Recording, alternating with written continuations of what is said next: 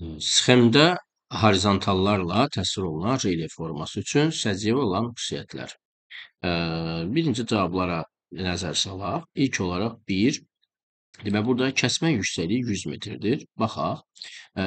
Gördüyümüz kimi burada 100, daha sonrasından horizontal üstündən heç bir rəqəm qeyd edilmir. Daha sonrasında 200 rəqəmi qeyd edilir. Deməli, biz 200-dən 100-ü çıxsaq 100 və 100-ü 2 rəqəminə bölməklə biz kəsmə yüksəkliyini təyin edəcəyik burada və beləliklə kəsmə yüksəkliyimiz bizim 100 yox, 50 olacaq. Demək ki, bizim burada 100 cavabımız, 100 metr kəsmə yüksəkliyimiz yanlış variantdır.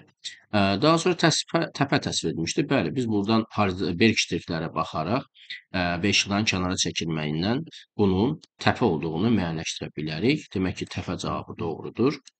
3. Mütləq hündürlüyü 250 metrdən çoxdur. Biz kəsmə yüksəkliyini bayaq 50 metr tapdıq. Demək ki, biz bunu nəzərə salsaq 100, 150, 200, 250 və mütləq hündürlüyü bəli 250-dən yüksək olduğu da doğru cavab kimi qəbul ediləcək. 4. A və B məntəqələri fərqli yamaclardadır. Bəli, gördüyünüz kimi təpənin B şimal yamacında, A təxminən cənub qərb yamacında yerləşir. Demək ki, cavab doğru cavabdır.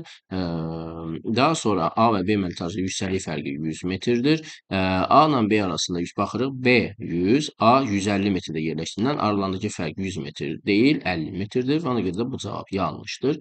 A və B məntəqələri çökəliyin kənarında yerləşirlər. Xeyr, bildiyimiz kimi bu təpə olduğundan onlar çökəliyin kənarında yerləşə bilməzlər. Demək ki, bizim doğru cavabımız bayaq təyin etdiyimiz kimi 2, 3 və 4 cavabı olacaq.